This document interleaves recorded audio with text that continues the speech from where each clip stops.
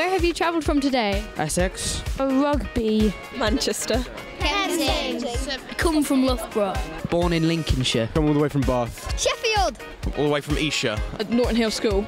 Are you having fun? Competitions are really great, and actually the IET has quite a few of them. And every time you just notice it brings people together with a lot of enthusiasm, and it really inspires people to do something better than they'd normally do. And it celebrates the best, and people learn from that, and each year they want to do even better. And it really does coalesce people around a challenge, which is fantastic. But it has a second benefit, which is really important to the IET, and that is that it allows a lot of um, publicity around what's happening to occur. And from that publicity, we can inspire the next generation. Even the people that aren't here, that aren't even involved in LEGO, can learn about this and they can start to think to themselves, hey, maybe engineering is an interesting idea.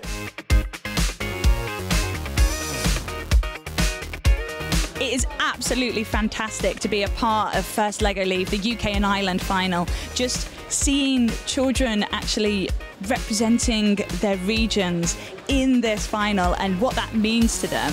Well, that means a lot to me because I'm a scientist. I really wish I was an engineer.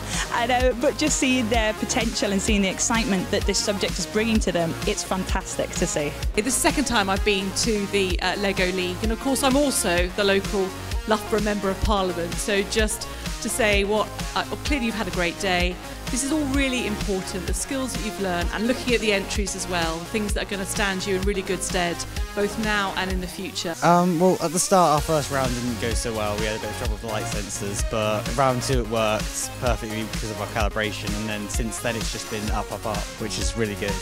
And the prize to go to the USA and represent the UK and Ireland at the festival, that must be an absolutely incredible feeling.